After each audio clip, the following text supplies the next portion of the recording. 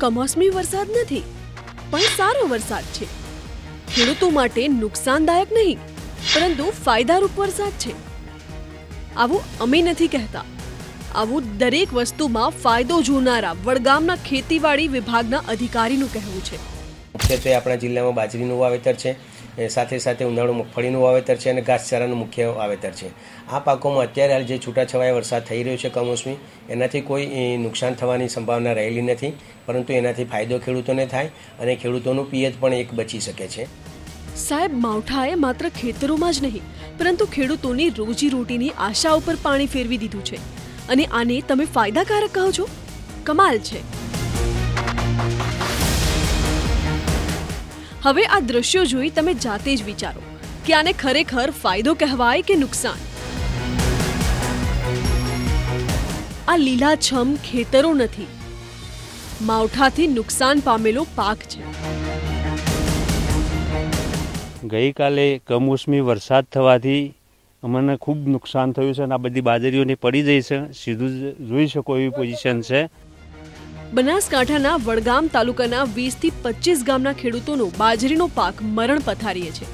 એક તો વર્ષની શરૂઆતથી જ માવઠા પર માવઠું પડતા ખેડૂતોના બટાકા, ઘઉં, રાયડા અને જીરું જેવા પાકોને નુકસાન થયું હતું. અને હવે ભારે પવન સાથે કમોસમી વરસાદથી ખેડૂતોના ઊભા પાકનો સફાયો થયો છે.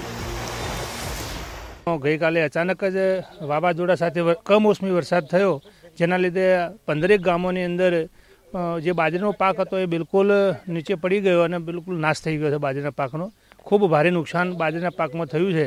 એવા બીજા પણ પાકોમાં નુકસાન થયું છે. એટલે ખેડૂતો કુદરતના આધારે રાહ જોઈને બેઠા હોય અને એવા સમયે અચાનક જ ભારે વાવાઝોડા સાથે વરસાદ આવી જતો પોતાના મોઢામાં આવેલો કોળિયો ખેડૂતોએ ગુમાયો છે. ઉનાળામાં ખેડૂતોએ મહા મહેનતે મોંઘા બિયારણના રૂપિયા ખર્ચી મજૂરી ચૂકવી પાકનું વાવેતર કર્યું. પરંતુ કુદરતના માર સામે આ ધરતીપુત્રો લાચાર થઈ ગયા છે. વારંવાર થતા કમોસમી વરસાદથી ખેડૂતો ધિરાણના હફતા ભરવાનો તો ઠીક, પણ પોતાનું ગુજરાન ચલાવી શકે એવી સ્થિતિમાં પણ નથી. ખેડૂતોની હાલત ખરેખર ખૂબ ખરાબ થઈ ગઈ છે આમાં. આટલી મહેનત કરી ભર ઉનાળે પાણી ઓછા હતા, તો એ રાત દિવસ ગમે તેમ મહેનત કરીને કર્યું અને હવે જ્યારે મોઢે આવેલો કોળિયો જતો રહ્યો તો આના વિશે સરકારે કંઈક કરવું જોઈએ એવી અમારી લાગણી છે. હવે ખેતરમાં પાકની આવી દેખીતી સ્થિતિ અને ખેડૂતોની હાલત જોઈને પણ શું આ માવઠાને ફાયદારૂપ ગણી શકાય? સવાલ એ જ છે કે શું ખેતીવાડી વિભાગના આંખે પાટા બંધાયેલા છે કે પછી ખેતીવાડી વિભાગ આંખ આડા કાન કરે છે? મોસમ વગરના અણધાર્યા વરસાદને માવઠું કહેવાય છે. માવઠું ક્યારેય ખેડૂતો માટે ફાયદાકારક હોય ખરું? શું સરકારી અધિકારીઓને ખેડૂતોની કોઈ ફિકર નથી?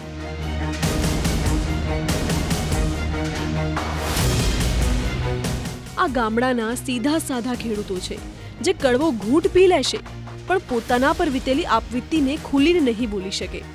પણ તંત્ર અને સરકારની એ જવાબદારી બને છે કે ધરતીપુત્રોની વ્યથા સમજી તેમને મુશ્કેલીમાંથી ઉગારે. Atul Trivedi, TV nine, Banaskantha.